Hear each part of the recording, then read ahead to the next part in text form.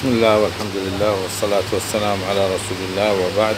إخواني الأعزاء هذه طريقة يعني ابتكرناها مصيدة للدبابير. هذا منا آه، باب يعني تخرج من عنده الدبابير بعد قتلها أو إذا احتجت أن آه، تمرغها بالمبيد الحشري وترسلها إلى عشاشها وهذا الطبقة هذا الخرطوم القمع اللي تشاهدوه. هذا أيضا آه، يحتاج بأنه أن يخرج من عند الدبور وينغلق في هذا المكان.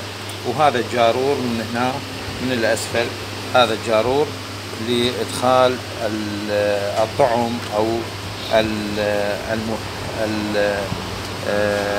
الطعم وإدخال الدبور أيضا. يعني يكون من من الجنبين. يعني هذا بالنسبة لهذا الجارور مفتوح بثلاث فتحات منها.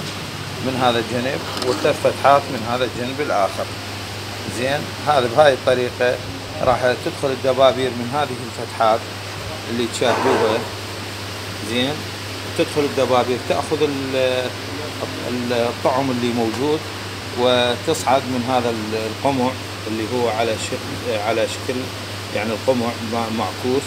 وتدخل إلى داخل هذا القفص وبعد أن تدخل إلى داخل هذا القفص راح تنحبس ويتم القضاء عليها وبعد هذا آه، بعد إدخال هذا الدبابير بهذا القفص راح ندخلها آه، نحبسها إلى أن تموت أو إلى أن أنت تقتلها بطريقتك اللي ترتئيها حياكم الله أخوكم فوزي من العراق.